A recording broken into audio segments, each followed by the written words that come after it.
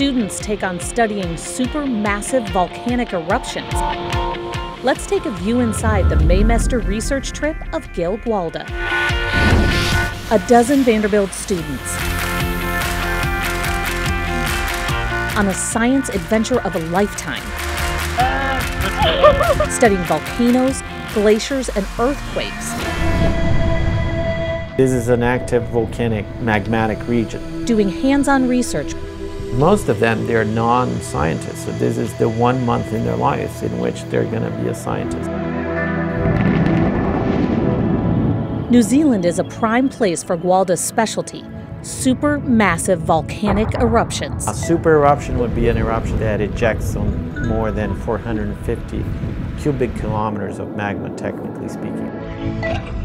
To compare, Mount St. Helens erupted less than one cubic kilometer of magma. The youngest super eruption that we know of is the Oruanui eruption in New Zealand, and that took place at about 25,000 years ago. So New Zealand has been one of the most if not the most active volcanic region in the Earth over the last million years. Students approach a volcanic hotspot, White Island.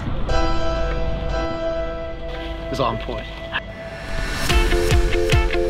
Maddie, what's your favorite part of the volcano so far? Everything. Using all five senses. It's toasty. Is it warm? Yeah. It's really warm. Is it hot? Ooh, it's really nice. Wow, let's sit here. What does it taste like? Ooh, can I taste it? Can we taste it? Oh, it tastes gross. It does taste gross.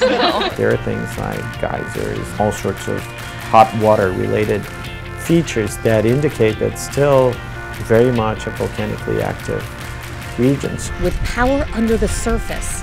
New Zealand is one of the top producers of geothermal energy and that means that there is magma a few kilometers down the surface. So folks, welcome aboard.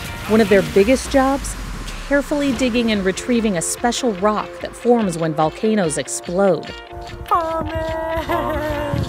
Pumice holds the clues to past explosions. How do you feel about getting Uh, the biggest pumice? I feel I feel pretty great. It was definitely very hard. It took a lot longer than I thought it would, and I was really worried that I would just like smack it and it would crack.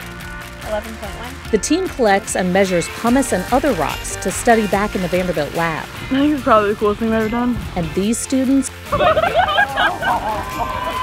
will bring back memories for a lifetime.